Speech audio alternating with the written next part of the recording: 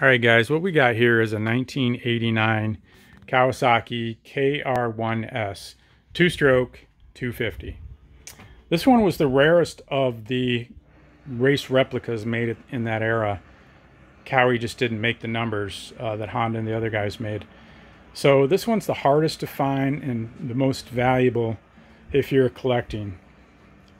This one is original from when I bought it about four or five years ago and obviously it's been, you know, it's in uh, you know decent condition for what it is. You have to kind of reset your condition meter when you import these things out of Japan. Um, you're gonna have a lot of oxidation.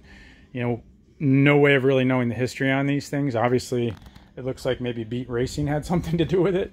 It's got some pretty cool decals. Somebody put pod air pods on it, and they cut away that fairing there, as you can see, to leave the open uh, area to get into the carbs, I gather, and they rehung the uh, exhaust, got rid of the passenger foot pegs. So awesome bikes. Uh, I've never run it. From what I know, it was, you know, I don't know if it was a running bike when I bought it or not. I, I tend to think not because uh, of the condition of the tank and so forth.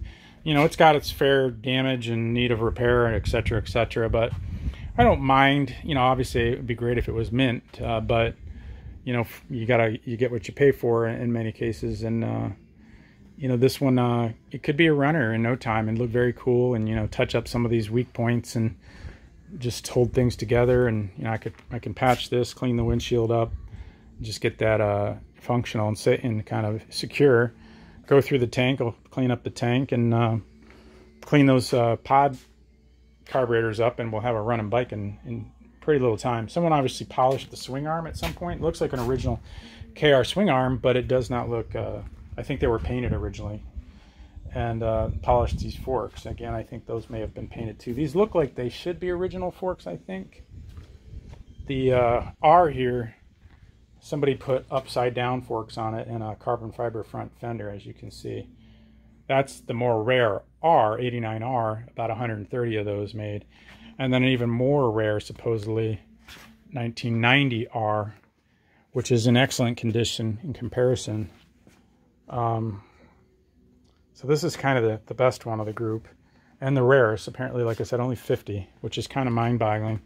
I think I just got dumb lucky at one time when I was looking for these things in Japan.